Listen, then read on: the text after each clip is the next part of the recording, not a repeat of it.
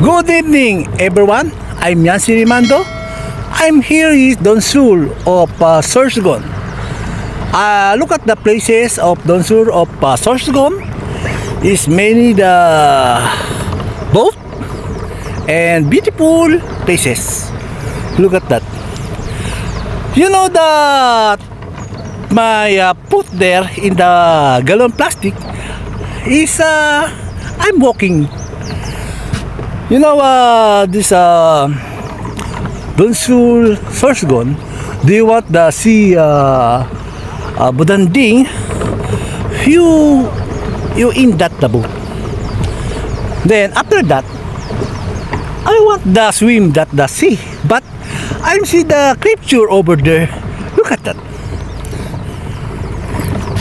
It's black jellyfish.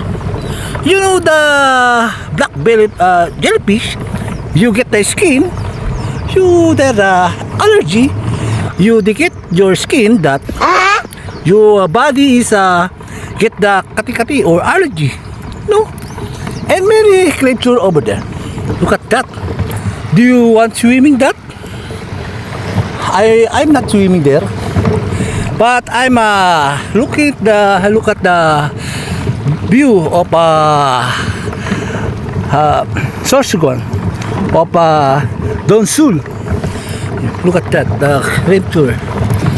Many jellyfish is over there. Look at that.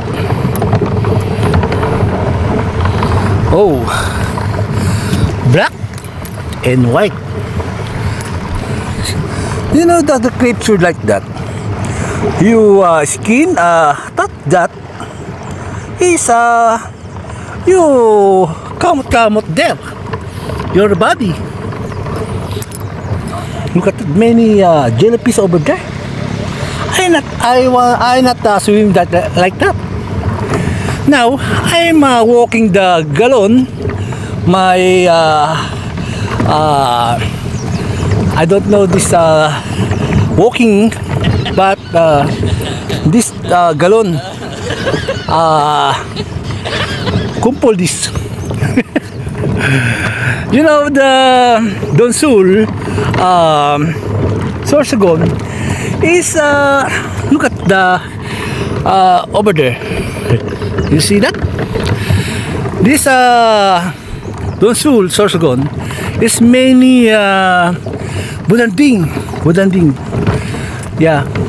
Tomorrow I'm uh, I'm like the sea uh, Budanding now I'm see the places. Look at that many fish uh, many fish. Yeah many fish.